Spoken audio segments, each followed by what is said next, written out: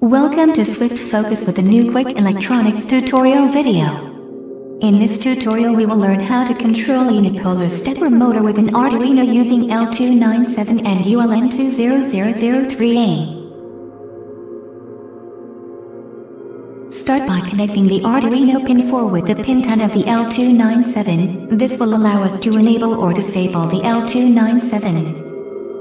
Next, connect the Arduino pin 3 with the pin 17 of the L297, which will allow us to control the rotation direction of the stepper motor. Then connect the Arduino pin 2 with the pin 18 of the L297, which will allow us to control the steps of the stepper motor. Next, connect the pins 4, 6, 7 and 9 of the L297 with the pins 1, 2, 3 and 4 of the ULN2003A respectively. Connect the pins to 11, 12 and 13 of the L297 to the ground. Connect the pins 12 and 15 of the L297 to 5 volts power source. Connect the pin 16 of the L297 to a 22 kilo ohm resistor and to a 33 nanofarad capacitor. Connect the resistor to a 5 volts power source and the capacitor to the ground.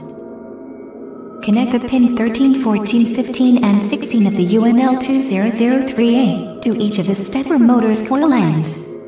Connect the pin 9 of the ULN2003A to a 100 nanofarad electrolytic capacitor and to a 12 volts power source. Connect the common wire of the stepper motor to the 12 volts power source and connect the electrolytic capacitor to the ground.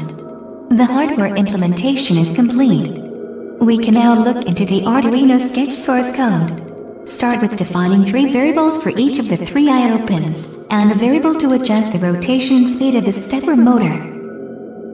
In the setup function, set the three I.O. pins as output. Then set the enable pin to high, and the direction pin to either high or low, depending on the rotation direction desired. In the loop function, we alternate the pin step with the values of high and low, and with a delay in between. Finally compile and upload the sketch to the Arduino. With the setup you are now able to control a stepper motor with fewer I.O. pins, and with less lines of code. Thank you for watching.